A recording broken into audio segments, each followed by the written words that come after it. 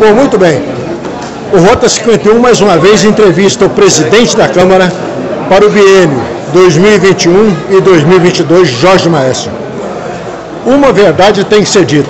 Você teve as suas contas aprovadas, você gastou o limite que poderia gastar. Isso indica que, além de ser um presidente de Câmara, você teve um controle financeiro muito grande.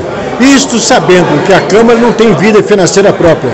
Ela recebe o dinheiro da Prefeitura, oficialmente chamado como duodécimo, e foi eleito pelos próximos dois anos. Isso é uma satisfação garantida de um trabalho bem feito? Claro, claro. Primeiro a gente colocou Deus em primeiro lugar, né? Segundo, a gente seguiu as diretrizes. O que é isso? Uma equipe técnica que tem por trás, um jurídico, uma contabilidade, um, todo o corpo decente da Câmara. Eu não podia fugir disso. Em seguir na cartilha, o regimento e todas as diretrizes, não tinha que dar errado. Contas aprovadas, as outras também, com fé em Deus, sairá aprovadas, e essas duas também. A gente não vai trabalhar na imprudência. O tempo já não me permite mais isso.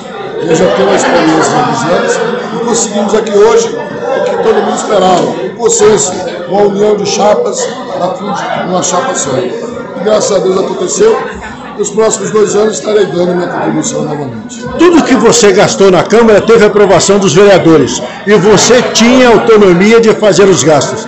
Agora, com as contas aprovadas e reeleito presidente da Câmara por mais dois anos, você vai continuar o mesmo trabalho.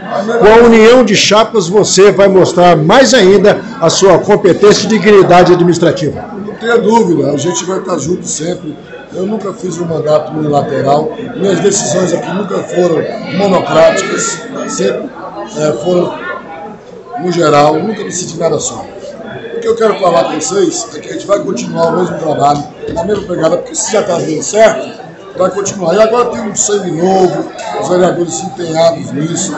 Eu acho que o Nápoles ganhou muito hoje nesse dia. À tarde a gente vai concluir a proposta da prefeita e a partir de hoje a gente continuar trabalhando. Qual é a sua mensagem para o povo eu napolitano na sua gestão e na próxima que virá? Fé. Fé e esperança. Pode ter certeza que não vou mudar meu comportamento, minha postura. Trabalho para todos e por todos. Não tenha dúvida, a gente seguirá o mesmo caminho, na mesma trilha.